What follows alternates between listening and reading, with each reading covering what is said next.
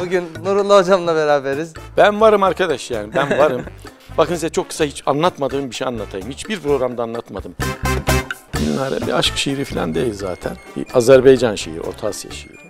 Ama Gülnare isminden doğdu. Gülnare şiirinden dolayı kızımın ismini Gülnare koymanın eşiğinden döndüm. O anda dede aklıma geldi. Dedim ki "Ha, tamam dedenin duası tuttu mu tutmadı mı bir test edelim bakalım. Mesela Rüveyda'yı ben merak ediyorum. Babama kitabı almış, bakmış, bakmış, ağlamış. Hmm, Çocuğa Rüveyda'yı almadık, hele bak Rüveyda. Kareli bir pantolon gelmiş ama kumaşı müthiş güzel. Fakat çok ciyak. Kareli etek pantolon falan olan bu nedir? Manzara şöyle, herkes oturuyor.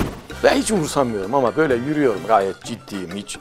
Ben bir içeri girdim, bütün taziyede olanlar, taziye sahipleri böyle. Program olmadı mı ya bunları ben? Tabii ki de bunlar var. Direkt ben çok kısa bir açılış yapayım. Hoş geldiniz Sefa. İki cümle sadece. Başka hiçbir şey yok.